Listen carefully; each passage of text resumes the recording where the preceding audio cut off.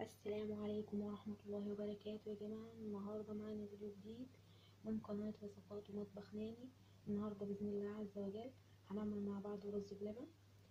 آه نقول بسم الله. مقادير معانا. نص كوباية رز مغسول ومتصفي كويس. نص كوباية سكر. معلقتين كريم شانتيه.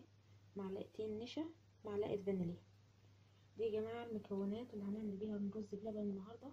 ومعانا كيلو لبن. كيلو لبن بيغلي على النار.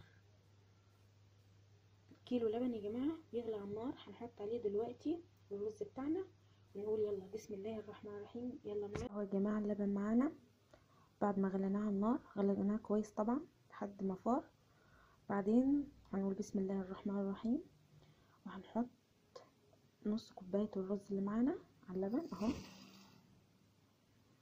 مش ه... مش هنشغل عليه النار يا جماعة النار مطفية على فكرة النار مطفية.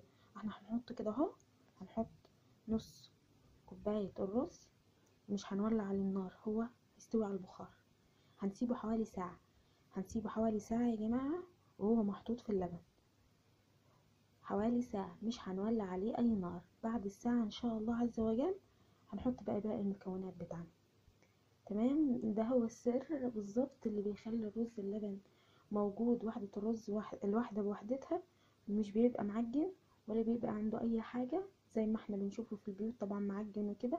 لا ده مش بيتسلق. والرز بلبن مش بيتسلق. هو هو بيبقى موجود على كده في اللبن لحد ما يتنقع في اللبن وياخد طعم اللبن يا جماعة.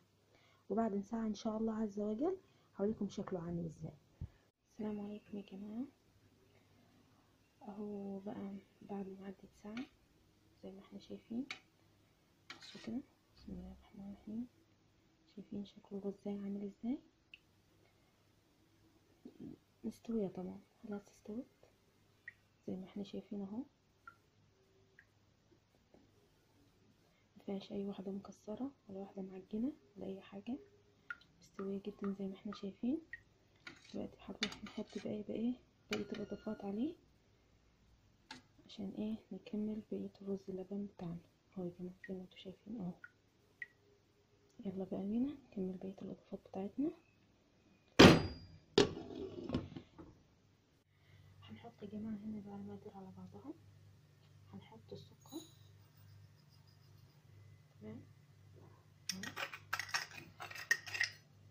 السكر. هنحط الفانيليا. هنحط النشا تمام نقلبهم كده هنخلي الكريم شانتيه في الآخر.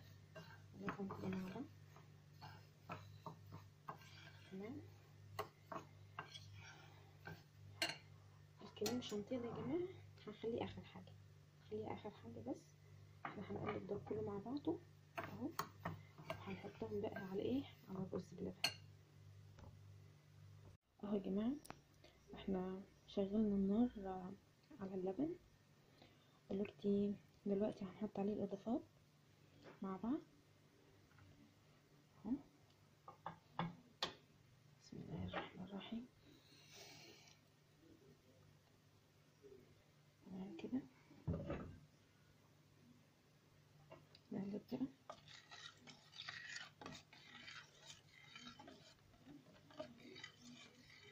على نار هادية يا جماعة على نار هادية جدا. على نار هاديه جدا يا جماعة زي ما أنتم شايفين. نفضل نقلب كده. أهو يا جماعة. بعد عشر دقايق بالظبط من التقليب المستمر شايفين شكله بقى عامل إزاي؟ شايفين القوام؟ أهو. ده ما شاء الله. والرز جوه بصوا مفيش واحدة معجنة ولا واحدة متكسرة ولا أي حاجة مش عارفه أهو كده شايفينه. ومستوي جدا زي بتاع المحلات بالظبط وأحلى كمان يا جماعة. دلوقتي بقى هنحط له إيه؟ هنحط له الكريم شانتيه بتاعنا. أهو هنحطه مع بعض. أهو بسم الله. ونقلب بقى. الخطوة دي يا جماعة بتدي طعم رهيب رهيب رهيب جدا للرز بلبن. بصراحة بتخلي طعمه تحفة. يعني بصراحة حاجة جمال كده.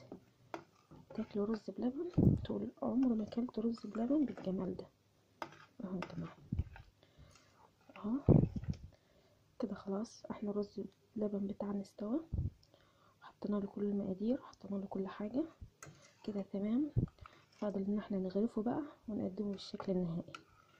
خليكم معايا بقى عشان أوريكم الشكل النهائي بتاعه عامل إزاي. أهو يا جماعة زي ما إحنا شايفين ده الوضع النهائي طبعا للرز بلبن.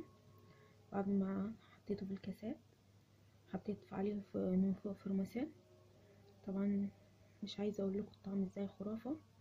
رب يكون عجبكم الفيديو بتاع النهارده. وأتمنى تعملوا الاشتراك للقناه للقناة وشير كده كتير.